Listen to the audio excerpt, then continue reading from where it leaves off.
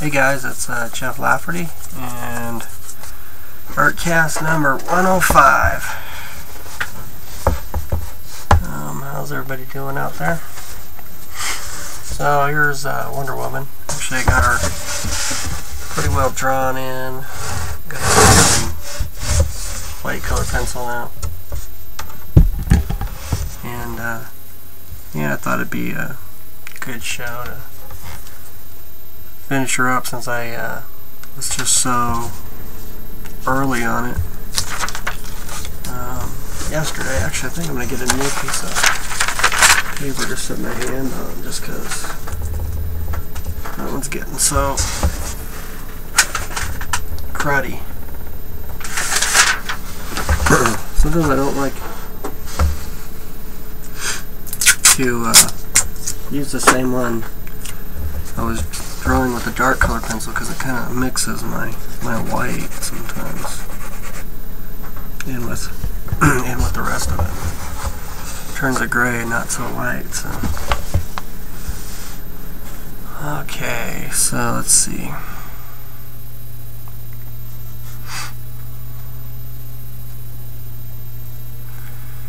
Um, man, I'm totally at pulling a blank. I guess I should have thought of something to talk about. but uh, what's going on with me? Um, I don't know. I'm glad I got this piece done. Now I can get back to the other ones I need to work on. Um, kind of thought up uh, an idea for the um, the uh, this month's art Artcasters. Uh, you know the Artcasters Facebook group. I don't know most people know, but I guess if you're new to the show, you don't know. But that's like my Facebook group I started for just guys who, you know, do art and shoot videos and stuff. And uh, if, you, if you're not in it, you should go join it.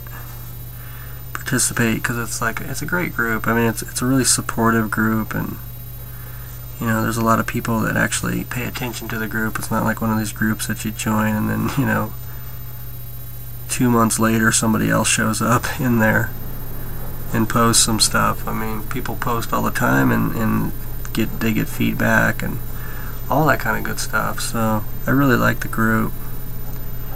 And uh, we have a challenge every month, and last month was like horror, of course, because it was ha ha Halloween. And this month is um, uh, North Norse mythology. Well, it's just mythology actually. Uh, I think everybody kind of was like wanting it to be just Norse mythology, but I thought, well, let's open it up a little bit. And I've seen people, you know, with their work in progress popping up here and there, but I haven't seen uh, even one entry yet, actually. So, um, but I, there's a couple of them that are just from the work in progress stuff. They're looking really cool, and one of them. Um, is this guy Jonathan Myers, who I've become friends with here recently. He does art casts.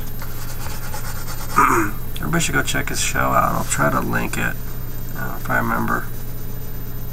Um, but he does marker and I don't know that kind of stuff, and uh, really cool stuff. But he's doing just put a video up of him working on the piece he's working on, and uh, looks really neat. Um, then there's uh, who else? Who was who posted that other one? I'm trying to think.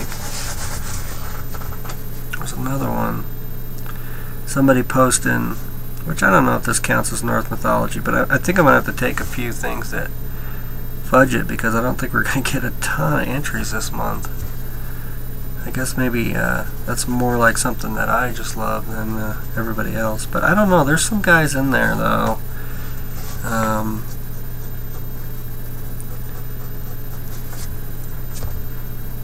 trying to think of a few names, but maybe I won't start naming people because I always forget who I'm naming. But but there's definitely some guys in there that are that like that kind of stuff and have bought some of my fantasy stuff and everything. But at any rate, um, I got did some sketching in my sketchbook. Just thinking up some ideas gonna I'm gonna do one here. And I was kind of thinking like to do it all photoreal and stuff just because I've been doing like the book covers and you know like this thing and some of the other stuff. Keep it in this genre kind of or whatever you want to call it you know process or but then I don't know that message I got um, yesterday from Jason which I talked about in yesterday's video Jason Moore and him talking about how he likes you know my other stuff. And I don't even know if he was talking about my fantasy stuff but I don't like that when little flakes fall off of my white pencil. Because it's like this paper has kind of got a real tooth to it so it's like if you wipe them off sometimes it'll brush a line you know across the piece. Um, but yeah I don't know. He got me thinking about it and just you know I, I haven't done any like fantasy kind of paintings lately so I'm gonna try to slip on in slyly when I when I have time and maybe do it up in, in oil and that whole thing. I, I uh, did that one last month, which, and it's funny, it's like, I, I guess I was just so busy because I didn't put either one of those up in my gallery. I don't even have prints of them. I did the oil of, uh, um, well, it's one of like this Conan kind of character going up a mountain, the naked girl, and, uh, then this other Viking looking thing. And I didn't even put them up as prints and stuff, and I need to do that. I don't know, I get busy sometimes. And,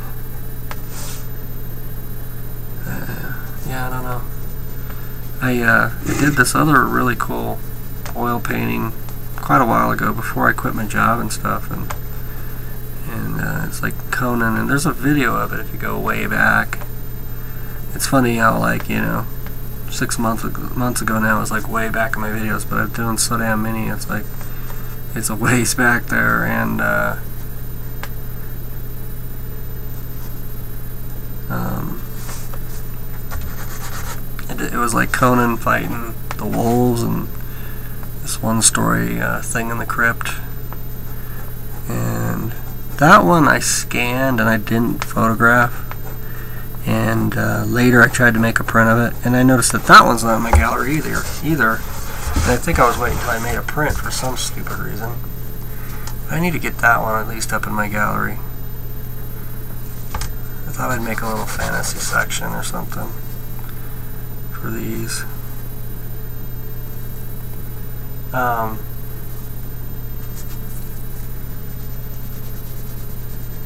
but anyway, what I was going to say about that was I, I scanned it, I didn't photograph it, it was like oil on canvas and um, it's funny how the scan it just came out so bad. And I scanned that second one I did that was oil on canvas the one where Conan's going up the mountain with the naked chick. And it was like um, it scanned horrible too. And I think that because of the just the transparent qualities of like oil and then plus uh, the canvas texture I don't know if you can scan them with that bright light bouncing off them, I think it just picks up that, that pattern so bad that it kind of makes the whole thing just mess the painting up. Because the prints just don't look right, and I can't make prints of that one with the with the wolves out of that scan, and of course I sold the piece already. But um, I did photograph that other one, and I and that, that photograph looks good. I photographed it outside, and it, it actually came out pretty good. It was kind of a, uh, I don't know, it wasn't a cloudy day, but it wasn't a super bright, intense day either. But anyway, I was just thinking about that. But yeah, I don't know. You did some sketches. Got kind of excited about some stuff. I don't think I'll show them though. Maybe I'll show them once I'm doing the video because I might lose interest in it, and then I don't want people going, hey, when are you going to do that piece? So, I think this one's coming out pretty good, though. I'm actually pretty happy with this one. I said I wasn't going to do a print of it, and I, I might do it now, unless I just wreck it here in the next 20 minutes, you know. But, uh, I wonder, you know, like I was messing around with like that oil. I, I, I know it's hard to figure out what I'm talking about, like if you don't watch every video, but I was thinking about those two oil paintings I did, those two kind of Viking and like, you know, like a Conan type painting.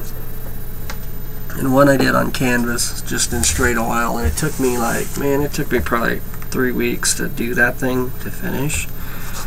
Not working on it straight, but just you know, working on it from time to time. Um, just took a long time because, you know, like the way I work is I kind of work back on the dry paint. And I, I did try a little bit of the cooking that thing in the oven and stuff, but it's it's funny. I don't really have a place to do that in in the house or outside the house, and I don't like doing that kind of around where our food and stuff is. For some reason, I get paranoid, even though I know different people who who do it. But but anyway, like that's kind of a technique to dry out the oil paint, um, and uh, so I would just kind of let it dry in front of here, sort of out in the shed and stuff, and. Uh, I don't know, pick it up when it was dry again and paint more on it, and then stop when I had to stop. And just took for a long time. And then the second one I did in oil, but I did an acrylic underpainting. And I painted it a lot like I paint these. I just kind of did a drawing that was, you know, with a lot of wash and sepia tones, and then I did uh, did oil over top. And I liked the way that looked, and you really can't tell the difference between the two, I don't think anyway from the straight oil to the other one. Maybe you can, I don't know. But I wonder, you know, like, I mean, like with like Frazetta, you know, I mean, everybody talks about how fast he was and how he could do some of those paintings in a day. And I, and I know he didn't do all of them in a day. Um, some of the more detailed ones, you know, just from what he wrote or talked about in interviews, he talks about, you know, going back and repainting on some of his other ones. But, and I think a lot of it just kind of falls into legend, you know, it's kind of like once he paints one in a day, it's sort of like, oh, he just paints every painting in a day, you know. Um, it just gets blown out of proportion, but I do think that some of them were possible that he did. And, um, I, you know, he probably was a fast painter, but know, I wonder if like he if he might have done something like that, like underpaintings, and maybe not acrylics, but maybe watercolor. You know, because his early paintings, like the early Tarzan covers he did for for Tor, or I think it was Tor. I don't know who did the early Burroughs covers that he was on, but those are watercolor paintings. And I mean, some of them are pretty close to almost going to oil, and then you know once he busts into oil, it's just like it just takes over. You know, it's just you know because of the depth the oil gives you and all that kind of just like they're so lush and beautiful. But I don't know. There's there's been some photos I've seen lately online. Um, one it was like an early photo of that one painting where it's like the warrior with the ball and chain I don't know how many Frazetta fans are out there, but this one, this show's for Frazetta fans. but anyway, um, th that painting, I saw like this early, early sketch of it, and it's so like. Actually, I gotta switch out my pencil here. Feel like I, I think I showed you this before. I tape them to like another color pencil so they're longer, and then I can take them down to a super tiny tip. I'll show you how short this thing is. But anyway, that ball and chain painting that I saw um, saw the picture of, and I don't know if I could find it. Maybe I'll try to put it on the screen if I did. If I do. But, um, you know, it's like at early stage of the painting, and, and the, uh, it's like you can just see like the washes on the, the piece are like super thin, you know.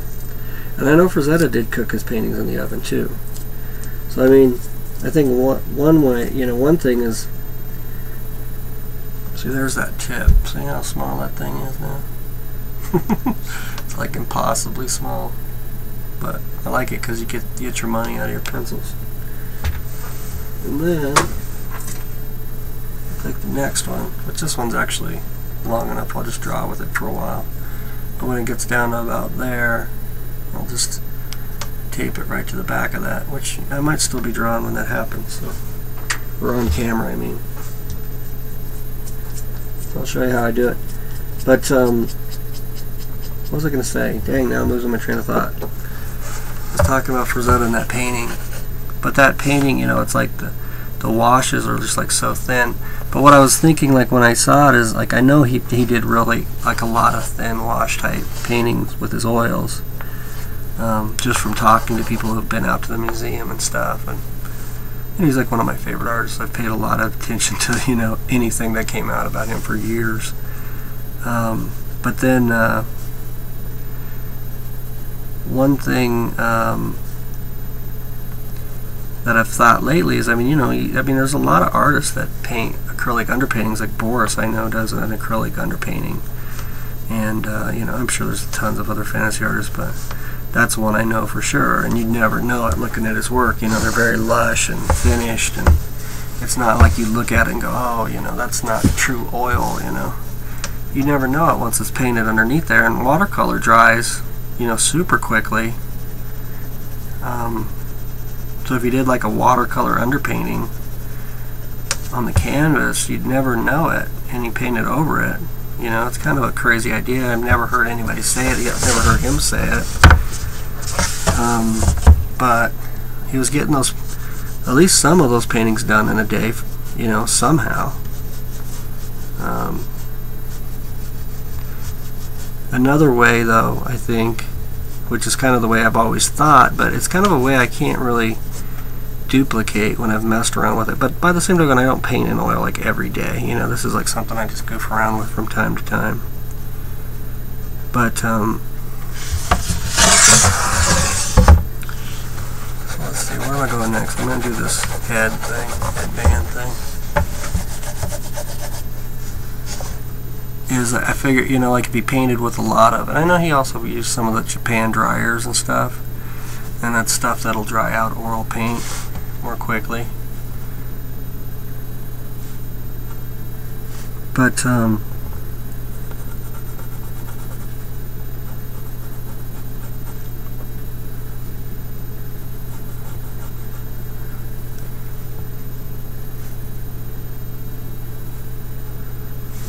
um, if you painted, you know, like a very, you know, like thin washes with a lot of thinner and especially if you stuck it in the oven for 30 minutes, you know, um, that would dry it out pretty good.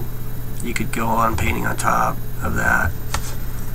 Um, and it probably wouldn't be 110% dry, but like if you did it pretty pretty thin, that would get it dry, dried out. There was a, I don't remember who I was listening to, but um, I never really had a good grasp on that cooking painting thing. Um, but so some show there was a guy who does a lot of oil, and he said that you should like when you cook them, the best way to do it is turn the oven on, preheat it to like um, about 250, and then and then once it gets heated up, it's like up to 250. Then turn it off, and then stick the painting on there for like a half hour. So you stick it in when it's like up to 250 and then it just basically cools. So it's not to like light it on fire and all that kind of stuff. And then not stick it in like before because, you know, that's like when it's before it actually gets hotter, like when it's preheating just because it's heating the oven up.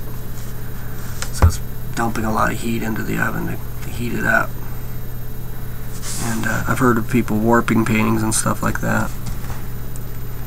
But I don't know if you if you you can pretty much straighten out almost anything by like wetting up the back of it, and I've done that with canvas board even and stuff. If you warp something pretty good, you can turn it over and put some water on the back of it to relax it, and then set some books on it. And, you know, I mean, you have even like you know unwarped like masonite like that and stuff, like hard boards. Where, and I've heard people say, "Oh, you can't get the warp out of those if they get warped," but that's not true. It's it's pretty safe. You know, the thing is, is like I, what I don't like about it is I don't like I I'm I'm like really like you know, for a guy who actually used to paint houses for a living, you know, I hate the chemical spells and stuff. And I think it's just because I had to deal with them for so long. I just, you know, just got a real, I just can't stand the paint smell of paint thinner and all this other kind of stuff. And uh, don't like to be around it if I can help it. Um, when I paint in oils, I don't use any turpentine. I just use thinner. And I usually keep a rag over my cup so I can't smell it most of the time. But, um, what was I going to say about that though? I don't know. Some tips. I'm sure nobody will ever probably hit this video that's trying to paint in oil, but who knows, maybe. But you know, it's funny, it's like that kind of theory. And the only reason I even like I'm saying it is just because of that one, like, because there's not a lot. You don't see a lot of pictures of like Frazetta's like unfinished stuff. You know, you see some, but not so much of like the ones he finished that are like in progress. It's pretty much like you just see the finished work.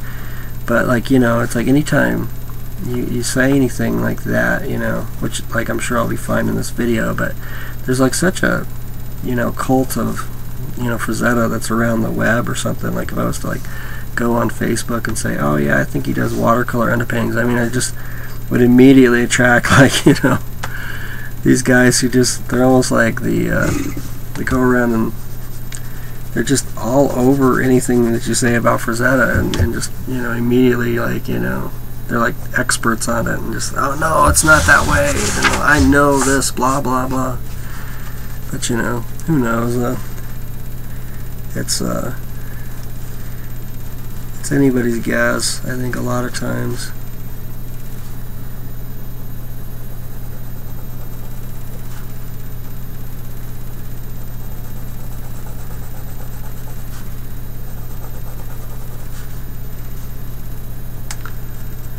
let's see. What else to talk about today? I don't know. It's kind of on a podcast binge tonight.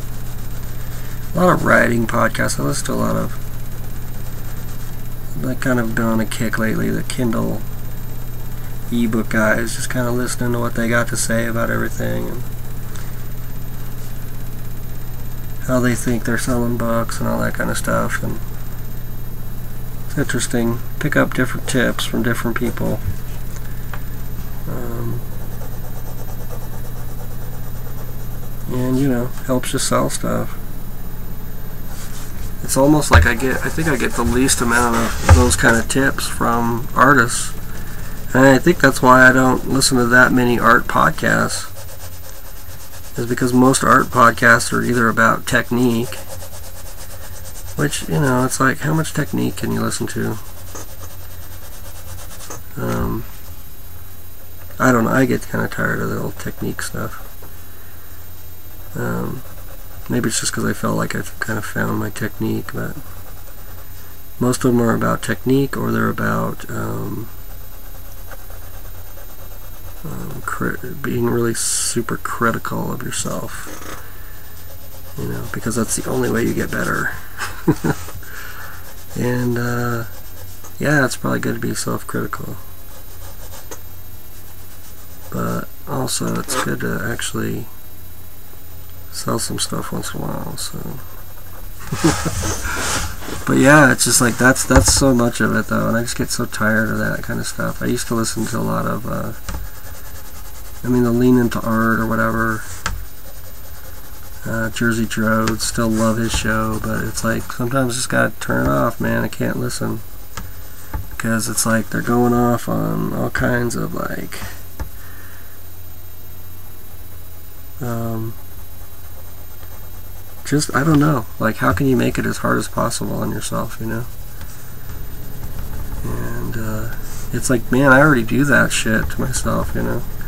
I don't need to like work myself into a tizzy anymore, you know.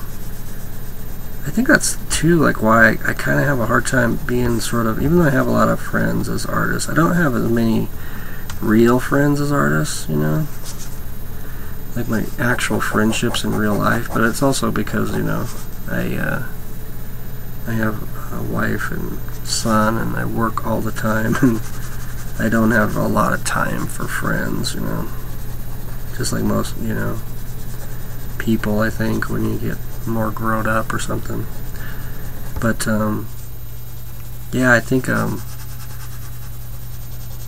you know, it, it's like that, you know, I mean, artists, are, they're so prone to get that, you know, to get into that artist, you know, like whatever kind of block they can think up that is going to stop you from from doing what you want to do. They're like they're just all over it, you know. Writers are that way, too, though. I can see that, um, and, and I've known some also. But what I mean by that is, it's just like you know, if you're,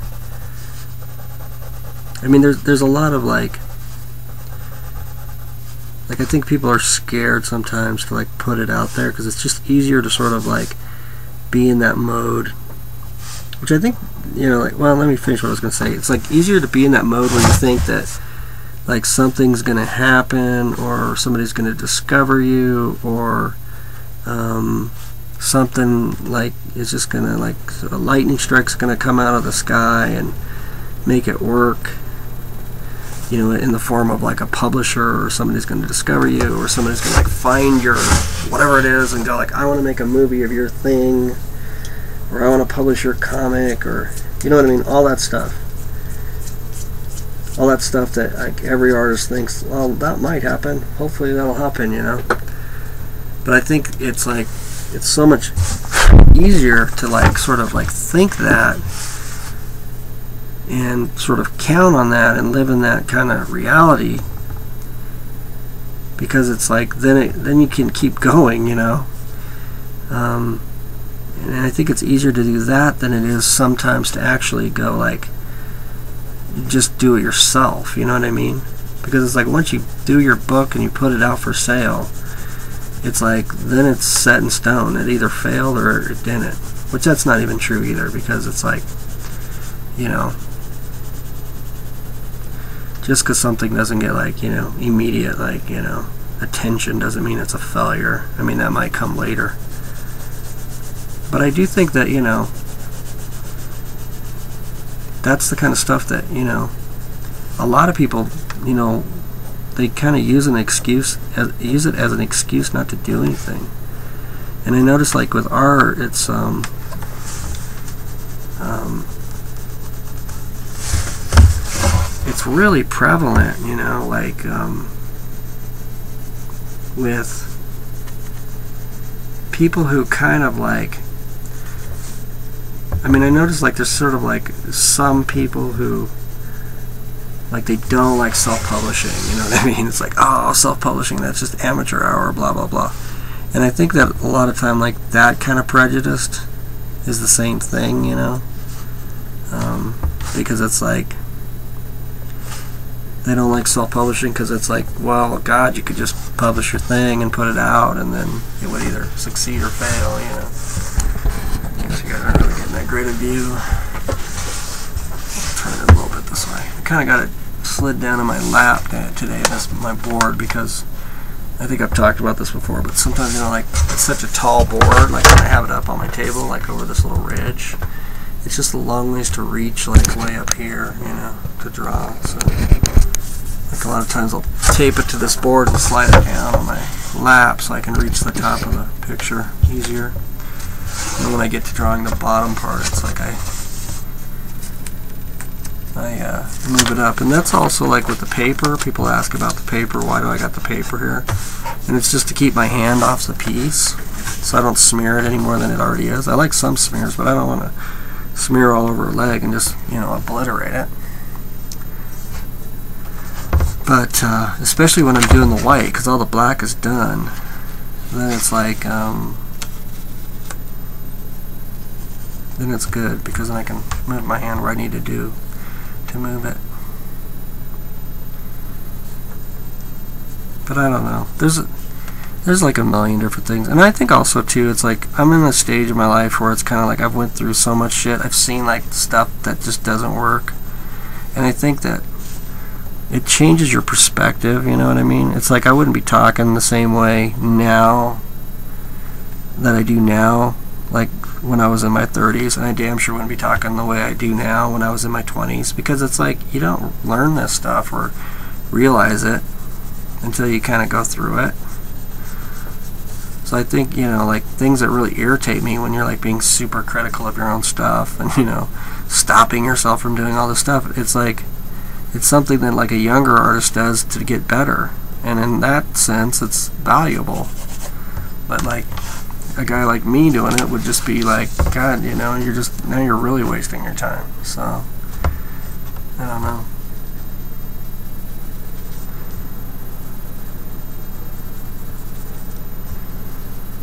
when people like disagree with me or whatever, it's like that's part of it. I don't know.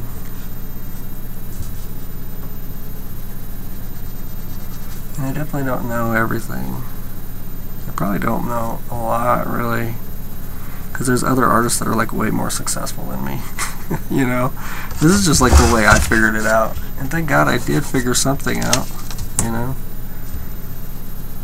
but yeah, I figured out how to do it on my own. So that's how that's how I'm gonna say it works. You know.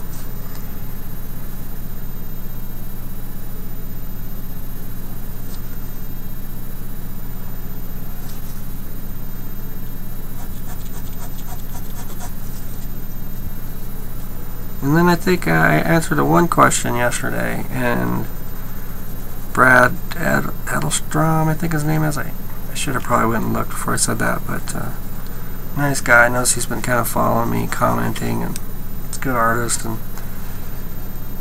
I don't know. He said something about because I, I was talking about like not making my sketch card prints anymore. Um, I think. I think that's what I was talking about, and I think he kind of took it as like I meant that I was down on sketch cards, and I'm definitely not down on sketch cards or doing sketch cards, you know, down like like I I don't know, like they don't work for me or something. That's that's not true. I think sketch cards are awesome if you put a ton of work into them. Um, and I think the market is totally there, like it was, you know, three or four years ago when I was doing them. I think it's probably a stronger market. And it's funny, like when, you know, you'll hear people talking about how bad it is now and how it wasn't like the old days. They were talking about the same thing like three or four years ago, so that's just always there, you know. I remember like when I did comics like in the 90s, um, everybody kind of looks at that as like the heyday, and that's like when you made all this money and they were just throwing money away, and like anybody could get into comics and all this stuff, you know. And uh, if you were actually back then, like living it, um, everybody thought the industry was going to collapse. you know what I mean? It was like all the talk was about how there's not going to be comics in like five years, you know. And uh, I don't care who you're talking to, you know. That's just how it was. Everybody was super pessimistic, and it was, um, I don't know. And then like there was at that time there's kind of this black and white bubble they call it. That was actually when Jeff Smith's Bone came out. And, uh, what's the other guy? Um, God, I can't remember his name now. Well, the, there's like another black and white book. He's really, is it, it's Terry something. I can't remember. He's really popular. There's actually a couple. of Paul Pope did a black and white book back then. And that was like part of the bubble. Those were like the good books that came out. And then there was like a ton of people that came running in right afterwards that didn't do very good books and then the black and white bubble burst, which just happened like over and over in comics. You know, there's like a million of those. Well, not a million, but four or five really major ones. Because black, some good indie books would come out, and then um, I'm kind of bird walking, but some good indie books would come out, and then the shops would start ordering them, and then a bunch of junk would come out, and the shops would like stop ordering them because they're like, no, these suck you know. Um, and also that that black and white bubble was also fueled by what happened with Image because Image happened at around that same time. So when that happened, when that black and white bubble burst and the shops got stuck with some black and white comics or indie comics that couldn't sell, you know. They were like, oh, it's the end of the world. and what is it, 2014? Still going strong. So I, I personally think stronger. Everybody says it's like a way smaller market. I think it's just kind of uh, a bill of goods. They're kind of selling people. Because it's like, man, you know, every movie is like a superhero movie, and everybody goes, no, that doesn't translate. But then, like, you know, you go into Barnes and Noble, there's like fucking graphic novels there. Back in the day, they weren't, they weren't, there weren't even graphic novels in the comic book, or in the bookshops, you know? It was like just in the comic shops.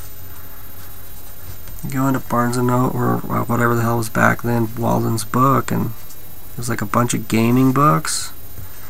And maybe there was a copy of like Dark Knight somewhere. ElfQuest was probably in there. So there's probably maybe four or five books on the shelf that were even comics. And then, uh, just move that much. Well, no, you can't see nothing. And yeah, there just was hardly anything, man. The pickings were pretty damn slim. And uh, on top of that, nobody's even counting all the web comics now. All these amateur comics that are like making real money and make their living doing it, which I think there's actually a ton more than people realize. So I don't know. I actually think comics is like really like a boom time, really. I mean, just the idea of Kickstarter too, you know. Just, I mean, just the idea of indie comics, man. It's like never been better. To tell you the truth, it's never been better. There's no way I could run a business like this back in the day. Just going to conventions, selling art. I don't know if that's true, actually. I might have been able to do it. But, um, been harder. Definitely not e as easy. I would have to go to a lot of cons. And I don't know if you could sell that much work. Maybe.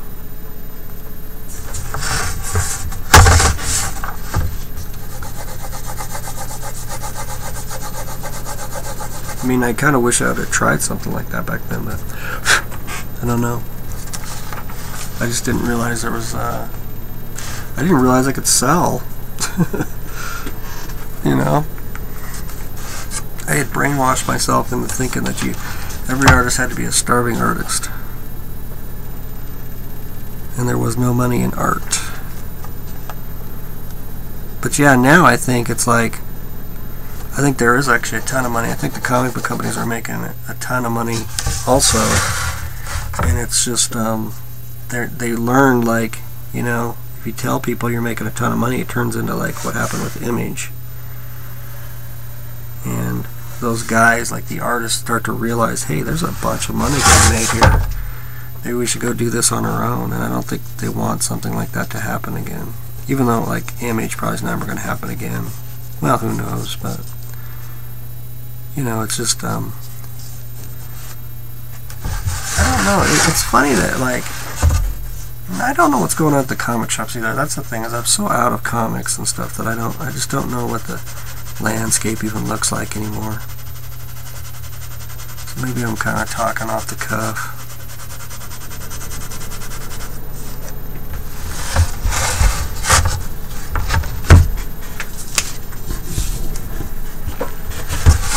That's like it's. I got my camera like so close. It's like you guys can't see all, all I'm doing. Me, uh, probably should start working kind of like this other leg though. Let's see here.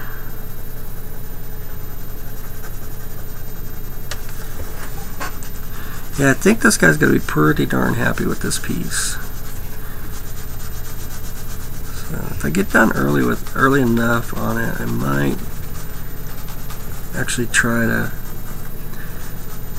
Well, I don't know. I've got a couple other pieces I should jump right on. I was going to say I was thinking I might jump on that fantasy piece, but actually that's probably going to have to wait a bit.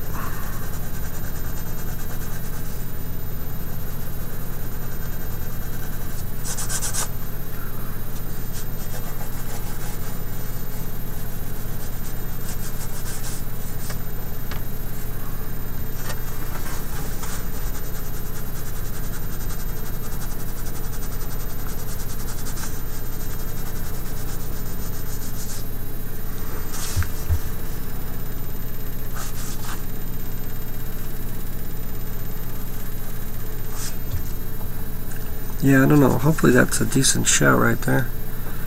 I was just thinking, I just talked about a bunch of stuff that I'm sure like a lot of people don't really give a shit about. I don't know.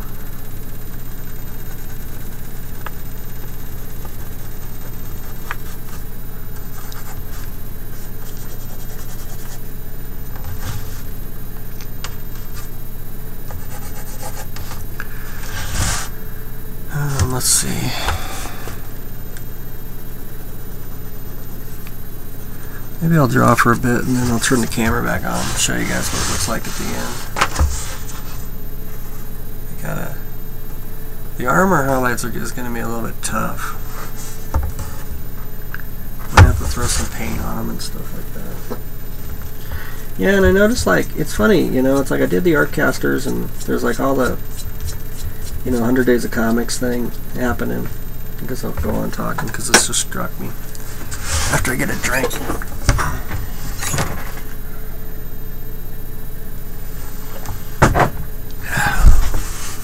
Still got a little bit of a sore throat, but I actually feel quite a bit better. But I was thinking, like, you know, um, when I started these videos, and it's like there was um, a hundred days of comics uh, going, and there was um, so there was a bunch of people there: Peter Palmiotti, Kevin Cross, um, Kenny Keene, and I don't know a bunch of other guys. Um, some of them made it, some of them didn't, some of them fall off. And there's, I think there's still a few guys going at that. And then there was like different guys who just, they saw me doing my art cast and they jumped on. And then uh, a lot of those guys have kind of fallen away because of different things, you know. So I gotta make some kind of these bolt things in here. And it's it's like it, it's kind of funny, you know. It's it's like it's almost getting a little sparse again. Like the Hundred Days of Comics guys have just sort of went away, and there's not as many guys doing videos. I notice. I guess Scott Circlin still is, and so is Kevin Cross. They're a little bit more spread out, but I kind of thought there was going to become, it was going to kind of go on and become a real thing, you know?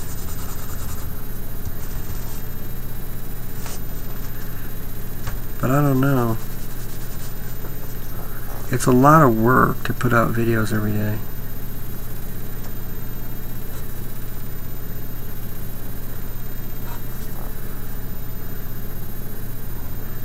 I was listening.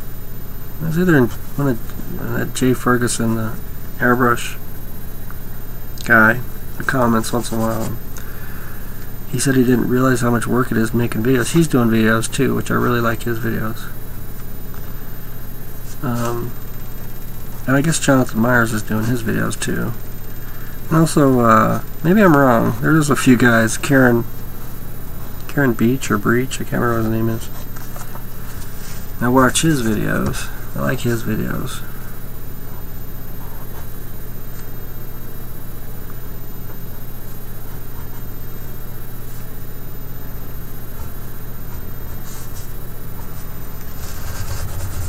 But uh, yeah, so I guess there's a few guys still doing them.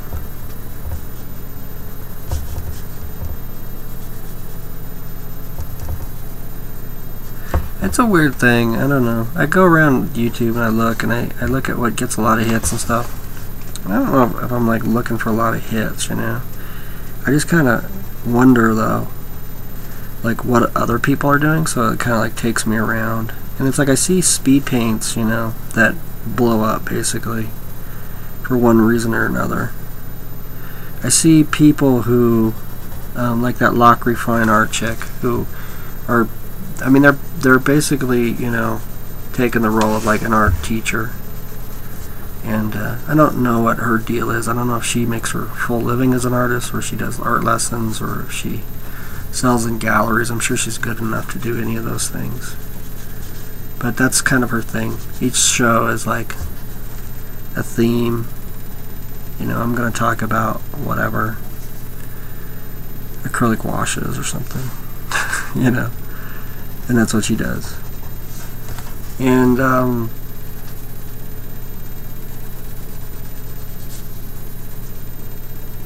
I don't know. If she's got a real following. Um, but I don't know. That's definitely not the kind of show I can do. Um, I could do it, but I have no interest in that really. And then there's uh, I don't know, man. It's just weird. It's just kind of weird, like when you try to think of like what the heck you're gonna do, you know, for a show. Because I've even thought, you know, like yesterday I was kind of like talking about, like, you know, should I slow it down? Should I just go to three videos a week? Should I try to do them better? Should I, you know, and I don't know what I would do really other than this, you know. There's a guy named David Lemon, I think his name is. He's like a sculptor that I'll watch once in a while on YouTube. And he does shows a lot like this where it's like, hey, I'm here in my studio and this is what I'm doing. And it's kind of boring, you know. And they're kind of good. A lot of times you'll click in. I mean, he's like amazing sculptor, so it's like you'll click in and he'll be doing some incredible thing in some weird way that you just never thought of. And um,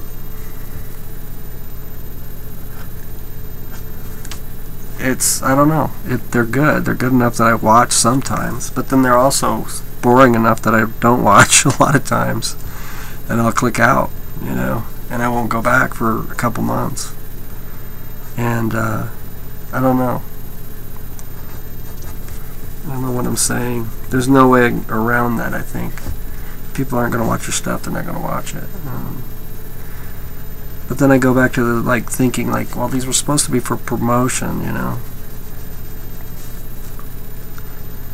And uh, I guess they still are. I don't know. I think one thing I've done a little bit wrong with my promotion is I've started to pay too much attention to my my group in a way, you know.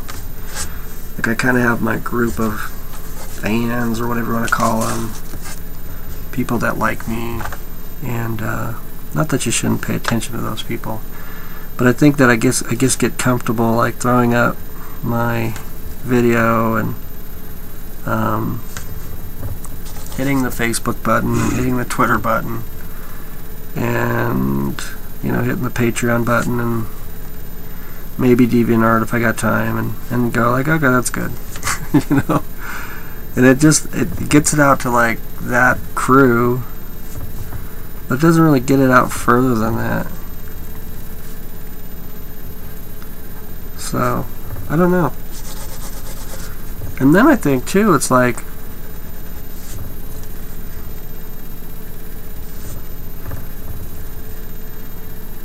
Well, I mean, I, I've always thought this. Like, there's there's people who pay attention to you, like, online. I mean, I, I have this a lot. I have people who, like... And, and I don't want to be outing anybody. I mean, this is just observation. It's not like saying, hey, you know, these people need to step it up or, you know, these people aren't doing right. It's just it's just observation. But I have people that really watch me and engage with me a ton online and are, are fans, you know, or whatever you want to call it, you know, of my stuff. But they, they don't ever buy anything, you know what I mean? Um, and then you and then I have people like on eBay that I've never seen comment on my site and I almost seriously doubt that they've ever watched any of my videos. You know what I mean? They're just there. You know, they're like all about the original art. And they're not like Facebook friending me and stuff like that. And I think that's where, you know, sometimes like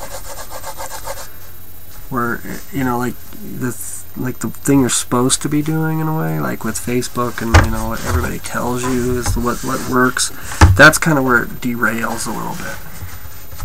Because I don't think it's it's always about I don't think like you know like that social media thing I think it's it's like you know just like anything else on the web it's like its own space. And there's some people that are on Facebook and love it. And I mean, just like that uh, John Ferguson the airbrush guy. I mean, he told me he doesn't like Facebook. He's not on it. You know. And I go, hey, you know, I got a cool group called the Artcasters. You should check it out. He's like, I'm not on Facebook. He's not going. You know what I mean? He doesn't like Facebook, and I was like that forever. I just never liked Facebook. You know, I thought it was like, confusing and didn't make sense to me. I got like a nice website with all my stuff arranged on it, and it's so cool. I don't know why anybody would want to watch me on Facebook and not go to my website. But um, it does uh, it does bring traffic to anything you do being on Facebook. Now this armor is just going to take forever to doodle in all the little nooks and crannies of the wings. So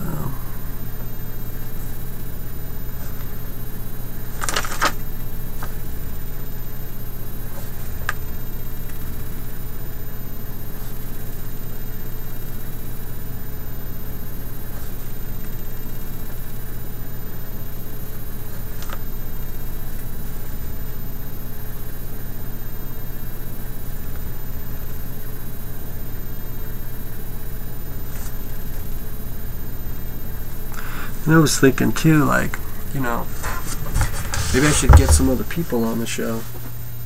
But then, you know, it's funny. It's like, I remember when I was doing the podcast, you know, there was times like, it, it makes sense. I see those guys, uh,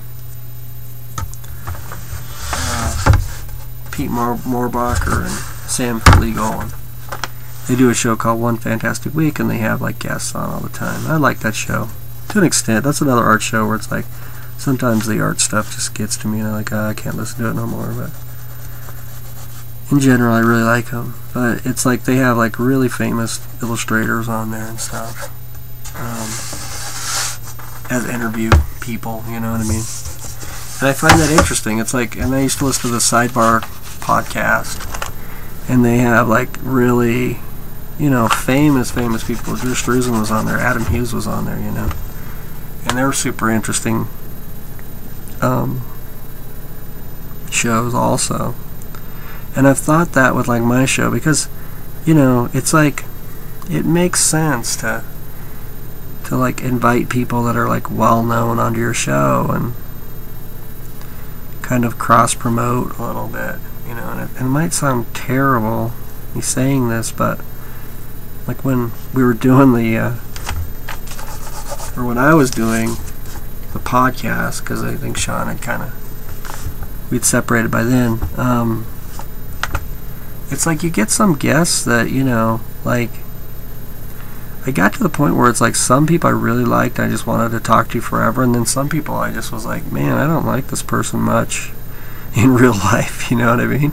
I love their art, but they're like, and it's not even like they're boring and they're not like, you know, um, giving you like a great show or something. It's it's it's more like you know, there's just people. Everybody's got their own personality. Just like when you go to work and stuff, you're gonna meet people you don't like, and then and you know when you're talking to them on the line, you're gonna the same thing. I mean, you don't really know what their personality is until you start talking to them. I think and somebody just don't like, you know, just immediately just they just put you off, and I don't know. That's one of the reasons I think I just I think like the interview idea is like would be really great content. It would bring in more hits and all that kind of stuff, but then.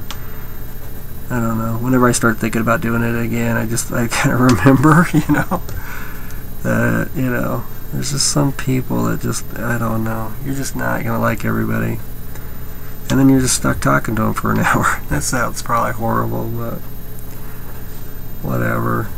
That's the truth of it. If you want somebody else to lie to you, go watch somebody else's show. I don't know.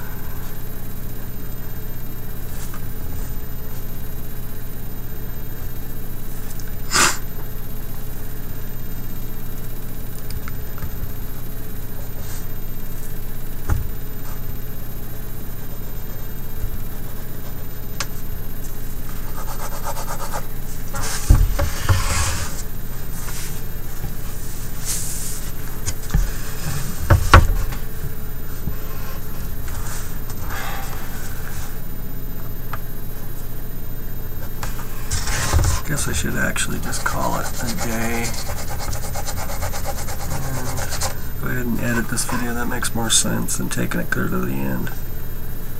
But anyway, I hope everybody has like a really great weekend. Um, go support me on Patreon if anybody that listens to this show wants to help me out.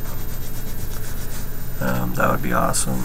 And uh, if you have some ideas about like what would make Patreon work better, um, like if you're, if you, you know, like, and I'm not saying you know this has to be or anything, but if you if, if somebody out there has an idea of like, hey, you know what would work good on Patreon to get people, like put it in the comments because I'd love to fucking hear that, you know, because I don't really know what would make it work better. Um,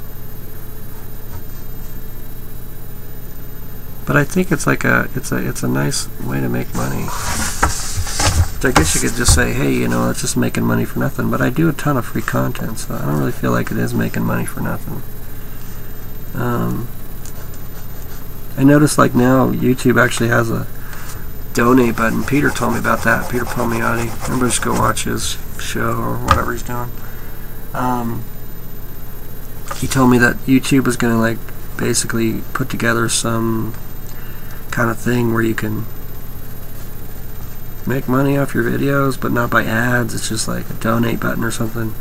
And I've noticed it already on some other people's sites, and it's kind of like on the show page or something. It's almost just like a tip jar kind of thing, which I was surprised that that's kind of how simple it is.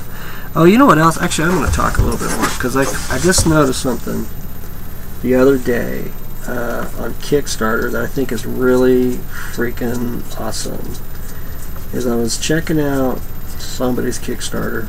It might have been that Mohrbacher guy's Kickstarter or or that guy who was talking to on that other show.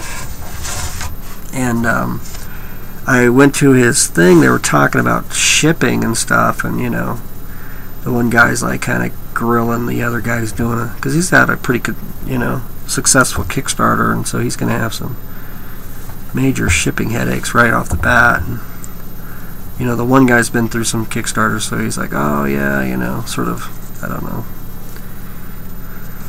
I don't know what I was saying, you know, sort of like imparting his wisdom, and the other guy I think didn't really care to hear it all, but.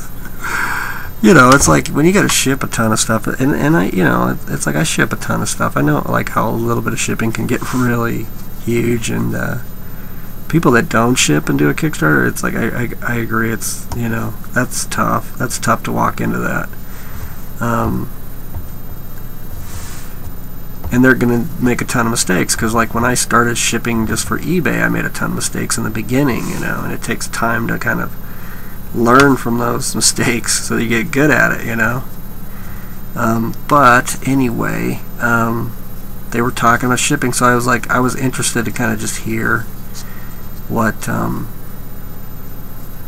you know, just see actually what, like the specifics of what the hell they were talking about. Because one of the things they, they kept throwing away really huge numbers for like um,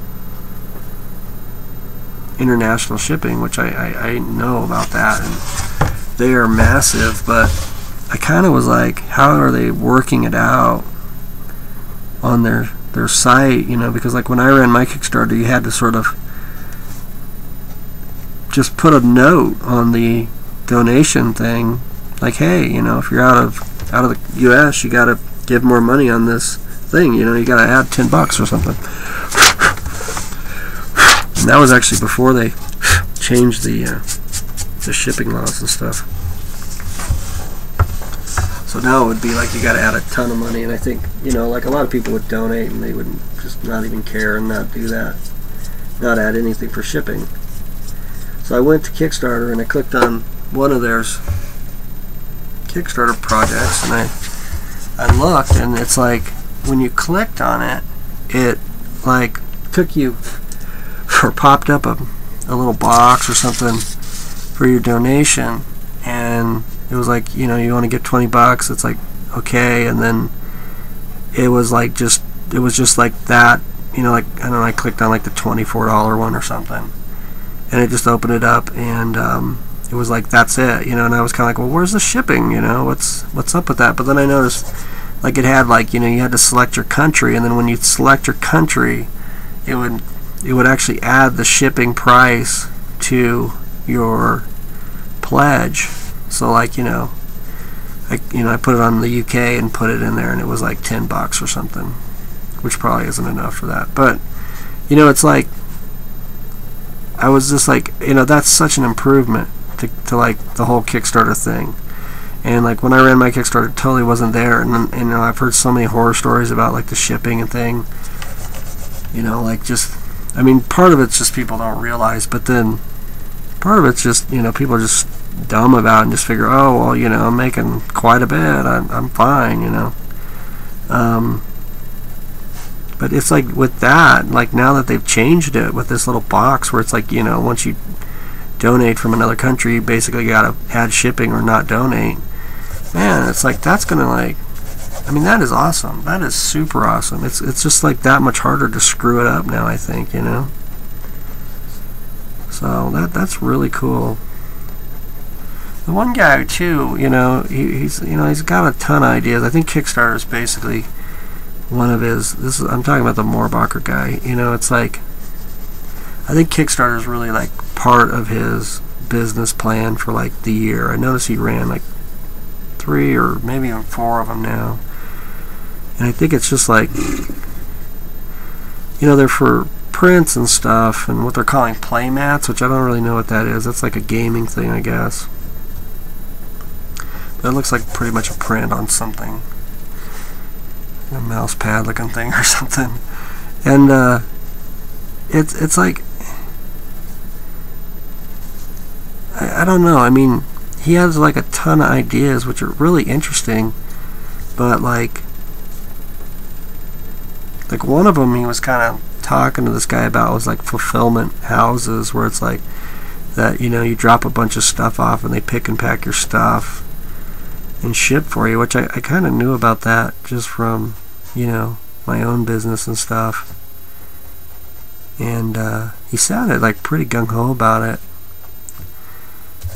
but I, I, gotta admit, it's just like that is that's a lot. You're you're losing a lot of profit. I mean, you gotta really have a Kickstarter that that banks to do that kind of stuff. I think because you know, I don't know. You know, you don't want to make a hundred thousand dollars and only keep ten of it. You know what I mean? It's just that's just not smart business. And if it, if it, if it did happen that way, then it's I think you might have did it wrong. You know but I don't know. It's interesting, interesting stuff on that show. It's just it's good to listen to stuff like that. It just gives you gives you ideas and stuff. And I remember I was talking to um, this guy Mike Fleming. I think I told you about him on the other show. He's like a sculptor, and we were kind of doing like a little drawing hangout, even though he was like sculpting during it. And you know, we used to like get on Skype and like look at all these huge Kickstarters and kind of go around and just marvel at like what people gave money to. But you know, that's like a something about the web. I think that um, actually today I went. Um, I was on Kickstarter, just looking around. Um, not actually going to run a Kickstarter. I'm just talking about it. I, I don't know. It just got on my mind because of that show, I think. But um, I was just looking around and I saw like you know there's like the, the guy that was on the show. He, he's really he's got like an awesome campaign. It's like bringing in like 30 grand or some damn thing. It's like way overfunded and he's got like days left and all this stuff. And um, that's awesome. And they were kind of like talking about how great his video was. You know what I mean? Because he has like this animated video. I don't think I, I need to sharpen my pencil for a second. But he has like this animated video. It's like, you know, and it is a really cool video. But I was like looking through comic books, you know, and I shared this one guy on Facebook because I found another guy in there that was way down the list, you know. It's like four or five clicks in the Kickstarter to get to this guy's, you know, the page where this guy is in the search. And he's doing a comic or book or something. I think it's like a comic graphic novel probably. And trying to get money and, you know, pretty much the same kind of artist. Somebody might argue that he's not as good as the other guy, but I think he, he's pretty comparable. And he has a, a really good video where he like expresses his passion for his project and and it's kind of a cool project and he's got all kinds of reasons why you should give to his Kickstarter. And I just thought you know it's like this is pretty much the exact same campaign but for some reason this guy didn't get nothing. You know because he's like barely funded. He's got like 50 I think this is actually even in like euros or something. So I don't even know what it is but it's like 50 or something out of like 2,000 bucks you know? It's just got like nowhere and I don't know. Usually when you see guys that low it's kind of like they're they might not you know they can't even get that first grand you know? It's kind of like I don't know if they're gonna get up there ever. Um, but uh, you know it's just like the same thing you know it's like pretty much the same deal but for some reason like that other guy's campaign caught fire and uh, and the and the one that it didn't, it just it didn't, and it's nowhere, you know. And it's kind of made me wonder, like what catches why why do they catch fire? And it's I think it's a lot like just like the viral, you know, thing about the net, you know, one thing does and one thing doesn't, you know. And uh, I don't know. But that was one thing they were saying, you know, uh, in that interview thing about his Kickstarters. He was kind of like saying, well, it's like the hard work you put into your video is really paying off and things like that. And I don't know. It's like, I agree, but it, I don't know that that's why he's getting all that money, you know? I just think it, it's like something happened, you know? That internet lightning strike just happened for some reason, you know? And it just takes off, you know? I'm not quite sure why because it's not quality. And that's the thing is like I, I, I see quality get passed by um, on the net, and, and I, you know, I mean it doesn't, you know, it gets attention, but it, it doesn't always turn into like the big thing, you know. Sometimes it does, but then a lot of times I just don't think it does. But that's that's one thing where it's like, you know, where you're like banking on Kickstarter to be your thing, you know, it's sort of like I don't know, I don't like that business plan because it's so fickle, you know. There's another guy, um,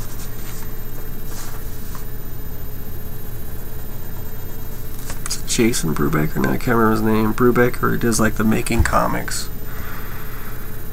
Uh, blog. He does a comic called Remind, and then and then there's a new one. I think it's called Psychra or something like that. And he had a really successful Kickstarter campaign that made like about a hundred thousand dollars, I think.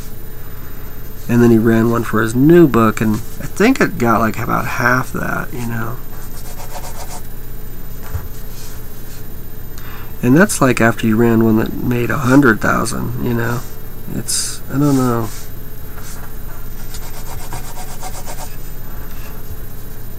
I'm not saying anything about it. It obviously worked for him, so. But it's just like what I'm talking about is like the fickle nature of the net, you know. Like the first one went a hundred thousand. You think like the second one, more people would probably know about him. You'd think it would like bring more, but it actually went down. So who knows? I think Patreon's like that too. It's like another one. I just can't figure it out. So, um, anyway, um, I guess I'll wrap it up there. That's what she looks like so far. Got paint some highlights in and stuff like that. Maybe I'll turn the camera up like I did yesterday. Alright, you guys see it? Hmm. It's kind of sideways. So I make it right side up like this. Yeah, it's probably all blurry though because I have the focus at a certain thing. But I think it's looking pretty decent. I think the guy's going to like it. Uh, yeah, I want to paint in some highlights and uh, edit this video and put it up. So I'll uh, see you guys. Sorry, I don't need to really mess with the camera. I'll see you guys um, Monday for the Artcasters Hangout, which will be back.